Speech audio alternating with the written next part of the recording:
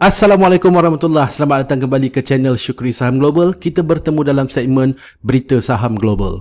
Okey, untuk makluman, segmen Berita Saham Global ini ditaja oleh MFM Securities. MFM ialah platform perdagangan di mana kita boleh melakukan perdagangan currency, commodity, index dan pelbagai lagi. Yang menariknya juga, MFM menyediakan sistem copy trade di mana kita boleh mengikuti manager-manager yang mempunyai performance yang bagus di platform MFM. Seterusnya juga MFM menawarkan 30 US dollar secara percuma kepada kawan-kawan yang menjadi subscriber kepada channel ini. Jadi bagi kawan-kawan yang belum mendapatkan 30 US dollar daripada MFM, sila refer di description di bawah video ini. Okey, yang pertama sekali kita akan melihat bagaimanakah performance dengan indeks-indeks utama US pada malam tadi. Dow Jones meningkat 0.51%, Nasdaq meningkat 1.36%, S&P 500 meningkat 0.99%, Russell 2000 juga meningkat 0.48%, Barron's 400 meningkat 0.52%. Volatility Index juga dilihat menurun sebanyak negatif 3.22%.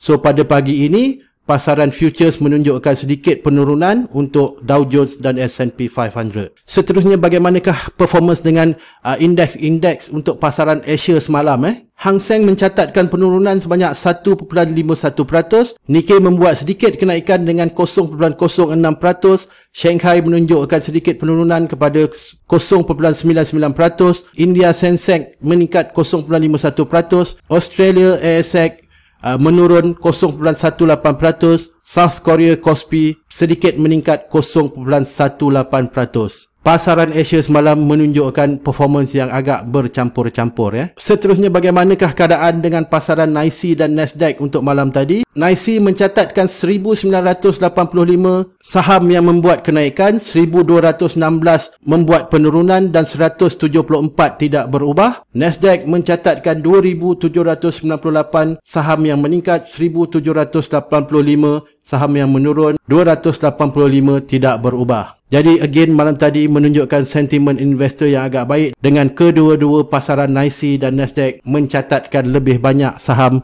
yang meningkat berbanding yang menurun. Alright, seterusnya apakah counter saham yang paling aktif untuk malam tadi? Carnival Corporation CCL jatuh sebanyak 11.18% kepada 9.85 dolar. AT&T juga jatuh 7.62% kepada 18.92 dolar. Snap meningkat 5.42% kepada 16.35 dolar. AMD mencatatkan kenaikan sebanyak 1.86% kepada 91 dolar. One Life Healthcare ONEM eh meningkat 70% malam tadi kepada 17.25 dolar. AMD masih terus menjadi counter yang sangat-sangat aktif eh untuk untuk beberapa minggu eh. Walaupun mencatatkan kenaikan pada sesi dagangan malam tadi, Snap telah pun membuat laporan earning after market hours eh dan laporan earnings yang dikeluarkan ialah negatif untuk Snap. Jadi besar kemungkinan saham Snap akan gap down pada pembukaan hari ini. Eh. Okey, seterusnya kita akan melihat kepada saham-saham yang telah mencatatkan kenaikan 52 minggu. Yang pertama sekali, Service Corp naik kepada 72.07, Ryan Specialty naik kepada 42.43, American Campus meningkat kepada 65.2, New Scale Power meningkat kepada 11.91, Strike meningkat kepada 44.24. Seterusnya untuk Nasdaq, CVB Financial meningkat kepada 25.59, Immunicore meningkat kepada 47.5, Simulation Plus meningkat kepada 62.09, Cross Country meningkat kepada 30.4, Catalyst Pharmaceutical meningkat kepada 9.62 dolar eh. Jadi kita dapat lihat di sini bahawa Immunicore telah mencatatkan beberapa siri kenaikan sepanjang minggu ini. Seterusnya bagaimanakah dengan performance sektor-sektor utama di dalam S&P 500? Malam tadi consumer discretionary mencatatkan kenaikan sebanyak 2.25%, diikuti dengan healthcare sebanyak 1.5%, information technology juga meningkat meningkat 1.41%, material meningkat 1.4%, manakala energy mencatatkan penurunan 1.69%, utilities hanya mencatatkan 0.29%.